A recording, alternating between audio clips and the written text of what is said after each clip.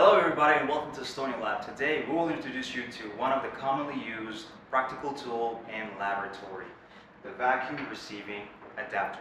It is made of G3.3 high borosilicate glass.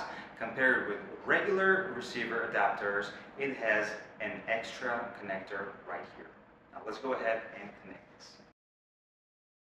This ingenious design serves a purpose of branching and interconnecting vacuum systems seamlessly.